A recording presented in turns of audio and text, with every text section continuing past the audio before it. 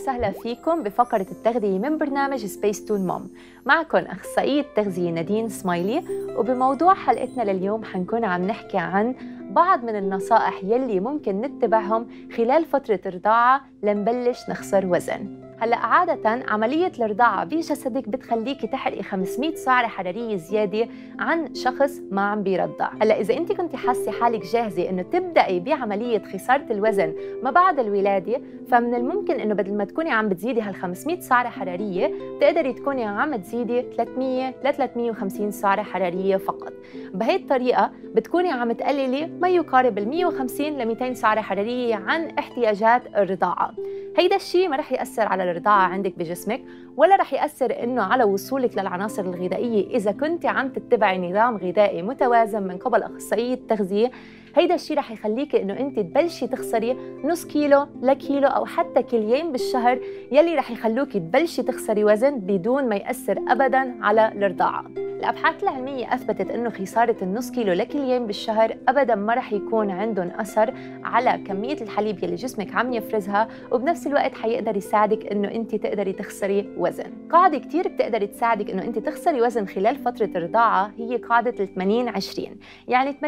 من وقتك 80% من أيامك تكوني انت عم تقدري تتبعي نظام غذائي صحي متوازن. تكوني عم تاكلي بالبيت تكوني عم تمرقي الخضار والفواكه تكوني عم تمرقي دهون صحية بروتينات السلطات الفواكه هيدا كله حيقدر يساعدك إنه انت تخسري وزن وتأمني كل المغذيات يلي جسمك بحاجة لهم أما باقي ال 20% من نهارك أو باقي ال 20% من أيامك تكوني انت عم تعطي جسدك الأشياء يلي انت عن جد بتستحليها أو اللي بتجي على بالك سواء كان الحلويات أو كانت الكيك أو كانت البسكوت أو كان أي شيء حلو أنت مستحليتيه هال 20% من الحلويات أو من المأكولات يلي أنت عم ترغبيها وعم تعطيها لجسدك ابدا ما رح يأثر على خسارة الوزن إذا كانت 80% من أوقاتك عم تتبعي نظام غذائي صحي ومتوازن. جربي ما توقعي بفخ كل ال snacks يلي موجودة بالسوبر ماركت اللي بتكون مصنعة وبتدعي إنه بتزيد لك كمية الحليب. يعني البسكوت يلي بيكون مكتوب عليه lactation cookies أو إنه بيزيد الحليب بلا الكيك اللي بيكون مكتوب عليه إنه كمان lactation وبيزيد الحليب كمان بلا هيدي المأكولات ما رح تقدم ولا رح تأخر بالعكس حتكون عم بتزيد لك سعرات حرارية سكريات دهون زيادة على أكلك اللي أنت أبدا منك بحاجة لها وما رح أبدا تزيد لك كمية الحليب. مثل ما اتفقنا بالفيديوهات السابقة إنه ما في ولا أي طعام معين